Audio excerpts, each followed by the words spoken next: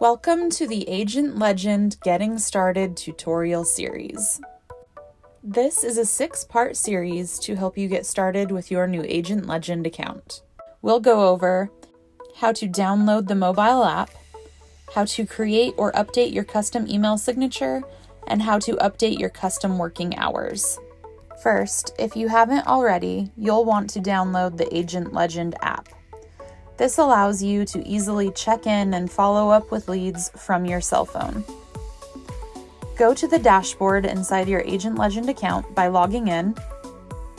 From here, you should see a box that says Get the app. You can download the Agent Legend app from the Apple Store or through Google Play.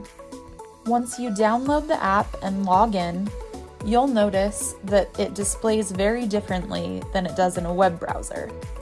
It's designed within the app to be very easy to use. You can track all of your calls, messages, and notifications all in one place. You can also update your settings. Now let's go back to the web browser to get your working hours set up. Click on the profile icon located in the upper right hand corner of the screen. Next, select Settings, then click on the Follow Up tab. Scroll down to the box with the header Follow Up Email Signature. Next, click on the red Update Signature button. From here, you'll see that you can add in your personal information like your name, your job title, company, and a website and phone number. You'll see this information displayed on the right hand side of the screen as you type it in. The tabs on the left hand side of the screen allow you to customize your signature further. You can add an image,